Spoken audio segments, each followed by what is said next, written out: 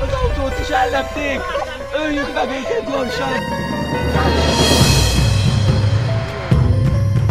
Gyorsan! Induljunk gyorsan! Menjünk!